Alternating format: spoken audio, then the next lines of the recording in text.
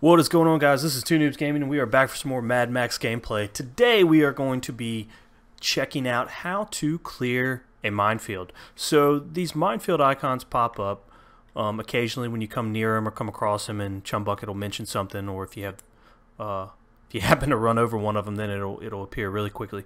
But basically you have to use your canine companion and Chumbucket's buggy. So you come over here rather than get in your car you hit square if you're on the PS4 to choose a different vehicle. So you come over here to vehicle collection and you scroll down to let's find it Chum's Buggy right there.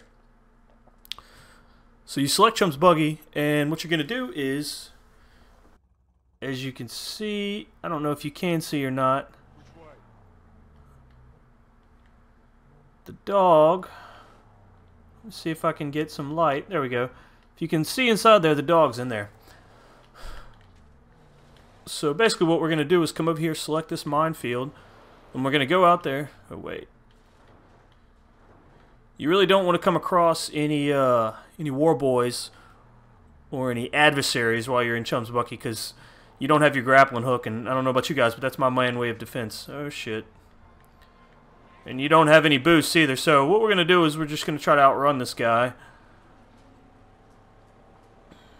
Actually, let's let him pass. Maybe he'll keep going. Leave us alone. So we're going to continue on the path to the minefield. Hopefully we won't run into anything crazy. It is getting dark, and that's when the fucking night terrors come out, so... Alright, so as you can see, dog jumps out, and you can see he's pointing in a certain direction. So as you turn that direction, he looks straight. He's indicating a minefield. I already know the location of the minefield because I came across it before. Alright.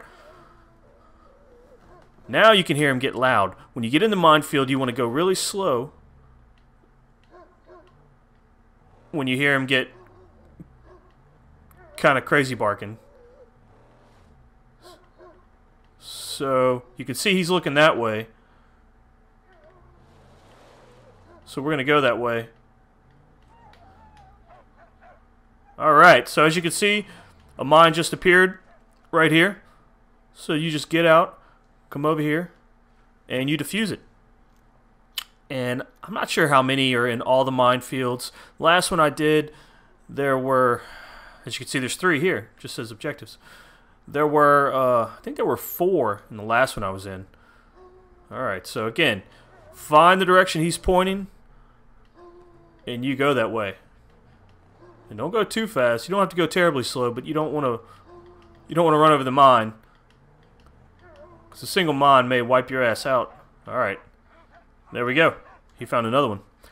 So the closer you get, the more intense the dog's barking gets.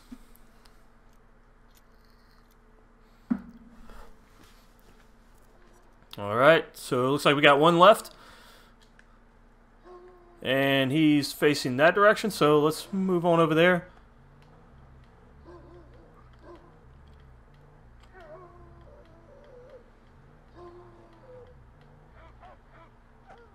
Alright, and he found the last one, so let's go defuse it.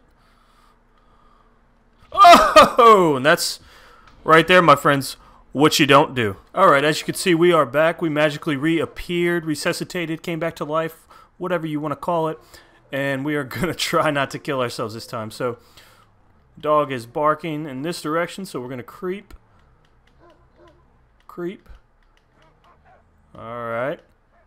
There she blows. This time, I am not going to step on the mine. What I was doing was just showing you guys what not to do. so, let's creep. Creep very slow. And let's defuse it. That should be the last one. Alright. And as you can see, the threat gets lowered in Jeet's territory.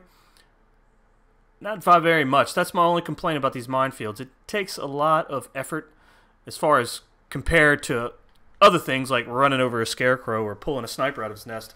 And you don't get much return off of it for lowering the territory threat. So anyway, guys, that's that is it. That's how you defuse a minefield in Mad Max. Don't forget to hit the like button, hit that subscribe button, and leave us a comment in the comments.